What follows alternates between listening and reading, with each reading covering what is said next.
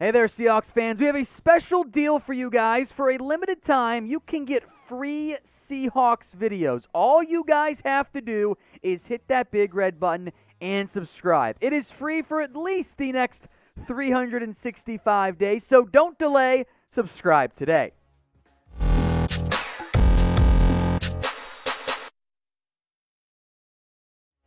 Today's Seattle Seahawks video is a look at some potential surprise cut candidates. So every name you'll see on this list is someone I don't think does get cut. That's why it's a surprise. I'm not picking the third or fourth string corner. That doesn't appeal to anybody. Instead, I'm picking some more notable names who would be a surprise cut candidate. First up on my list is cornerback Tre Flowers, and someone I've mentioned before Flowers has starting experience. I think that carries value for Seattle, and you might be able to find a trade partner if you want to pursue that route. But he's also struggled as well. He hasn't played that much in terms of targets in the preseason, but has gotten beat a decent amount. I'll also make note the trade for John Reid, assuming he makes the roster, the former fourth round pick out of Penn State, the Seahawks traded for in a deal with the Houston Texans, that would be one spot going to him, right? That complicates the cornerback room. Now, there are some significant cap savings if he's released. Over $2 million. Not an insignificant figure for a team that does have some big contracts to pay out this year and moving forward. I did not think Flowers was very good last year. I still think in reality he is at best the third outside corner on this team. There is a numbers game going on right now in the cornerback room. There, there are five nickel or safety corners who are locks Blair, Amadi, Adams, Diggs, and I think Ryan Neal as well. That would give you five, maybe six corners on this room. You throw in the John Reid trade that was just made official, by the way. That's one guy who I think makes a team. DJ Reed's making it. Ahkello Witherspoon is making it. Tre Brown is also going to make it. So, in theory, that's four guys. That would leave Tre Flowers versus Damarious Randall for the last spot. Sorry, get Gavin Heslop. I don't think he ends up making it if they only carry five. So could Flowers be that surprise cut if they want to go with Randall over him? Randall's the more likely cut. That's what makes Flowers the surprise one. So I want you guys now to name a surprise roster cut for me in the comments section. A bigger name who you think ends up not making the team. Funnily enough, I almost put Luke Wilson on this list, and then he ended up retiring because life is just crazy, isn't it? So get the ad break here on YouTube. Scroll on down and let me know your surprise roster cut. Next up, running back Rashaad Penny. And again, I think he makes the team, but I do want to bring this up as a long shot possibility. The former first rounder has simply not lived up to the hype. Now, Penny missed most of last season. He's not a starter for this team. And of your potential cut candidates at running back, we'll get to another one in a second because I know how you guys feel about him. You save more by cutting Penny, just under 1.4 million. Over his career, the flashes have been there. And I think in reality, Chris Carson is your number one back. That leaves Penny competing for a backup position. Now, maybe you can find a trade partner instead that would make a little bit more sense for Penny. But I do think a cut, although unlikely, is still a potential possibility for Seattle and their frankly disappointing first round pick so far. So let's say you're the GM. What are you doing? K for keep, T for trade, C for cut Rashaad Penny. I myself lean toward keep, but I think there's a chance all of those three are still in their own possibility. So get your votes in for me in the comments section. Now we've done cut candidates before on this channel, less so surprise ones, more uh, more expected cut candidates.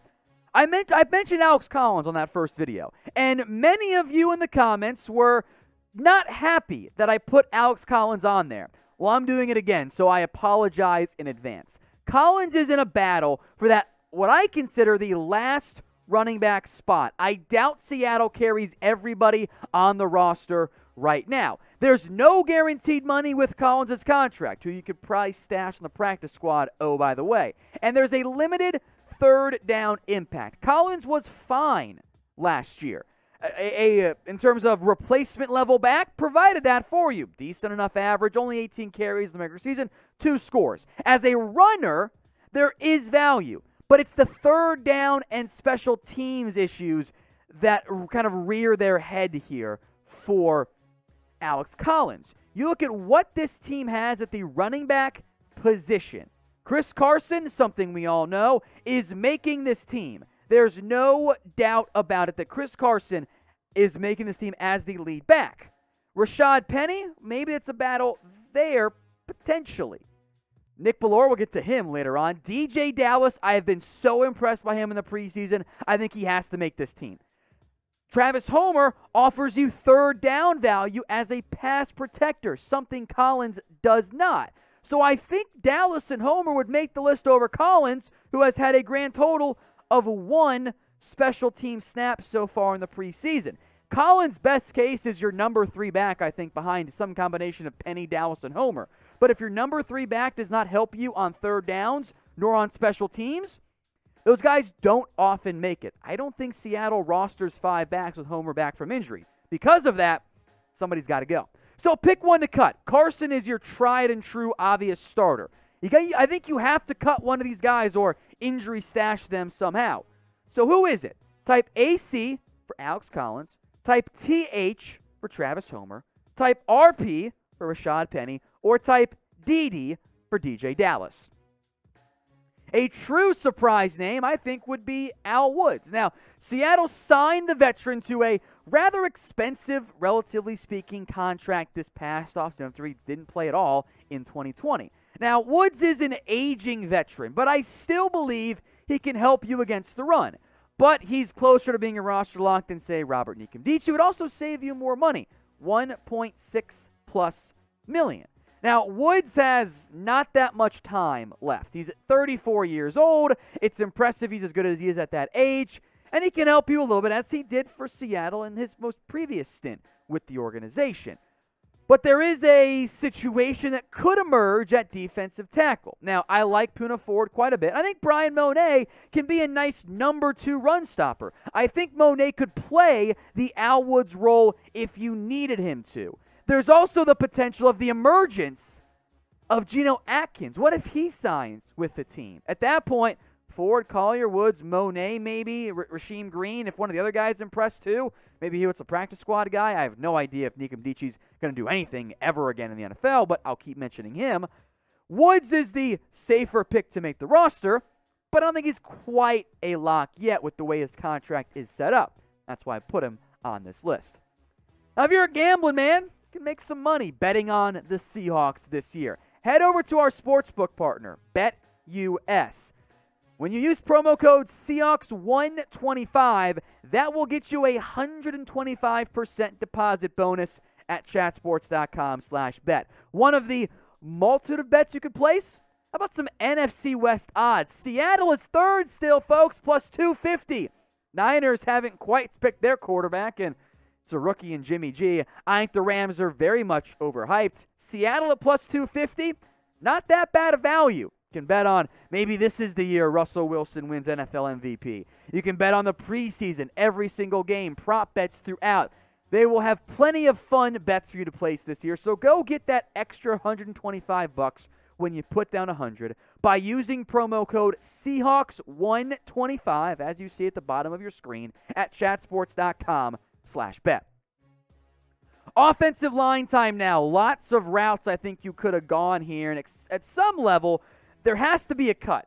But I think one of them will end up being a bit of a surprise if that kind of contradictory statement makes some sense. Seattle has some depth on the offensive line. Now, Jones has missed time in the preseason due to injury, but it's very rare for a team to potentially cut a player with starting experience on the offensive line, given how bad O line play generally is in the NFL. But again, numbers game going on here. Duane Brown, Damien Lewis, Ethan Pocic, because of his contract, he's been banged up too. Gabe Jackson, Brandon Shell, and I think I'd throw in Cedric Ogbuehi. Maybe they stun me, and the real surprise ends up being Shell or Ogbuehi. I think those guys are roster locks. I want to make Stone Forsythe on this team. That's a lot of guys, and you've got several players. And I'll also make note, Jake Curhan's been a nice, a nice little surprise there between Kyle Fuller, Phil Haynes, Jordan Simmons, and, and Jamarco Jones. I don't see all those guys making the team. And if Stone Forsythe is ready to go as OT4 and Seattle trusts Sean Ogbuehi to play swing or and or right tackle, that's four tackles. That might make Jones the odd man out, who wasn't terrible year. I thought, I thought he was better in 2020 than he was in 2019. Not that many saps, snack or snaps, excuse me. So the one sack and seven hurries is a bit of an issue. But if Stone Forsythe makes this team like I think he will, I guess you could throw maybe him in as a surprise cut candidate in that case. I mentioned five starters and two backups. That's already seven offensive linemen. I doubt Seattle ends up carrying 11. So you, you got to cut one of these guys then. Is it Jamarco Jones? Jordan Simmons? Phil Haynes, who has maybe shown some promise? Kyle Fuller has been getting starting reps at center. Does he make the team? Do you carry three backup offensive linemen? So uh, one of these guys, I guess, ends up getting cut. I like all four of them, which would make one of them a surprise candidate. But make your make your guesses for me. Who ends up getting cut? Finally, my man Nick Bellore. Allow me to explain. Um, the way this works out for Seattle and, and for Nick Bellore, they've done it in the past, although Bellore is on a two year deal this year. Seattle could make one of their classic moves simply cut Nick Bellore and then bring him back after roster cuts. As a vested veteran, Bellore is not subject to waivers. So if you want to carry someone through the uh, roster cuts and then put them on IR for a little bit, maybe Colby Parkinson, you could cut Nick Bellore, save 1.10 million, and then bring him back at a very similar contract and still pay him the same amount of money. They've done that in the past. They've done it with Geno Smith as well. You could throw him in as a surprise cut candidate if you want to, but they're not really a cut candidate because they'd end up being back. But that type of roster manipulation is stuff you'll see with roster cuts due on Tuesday.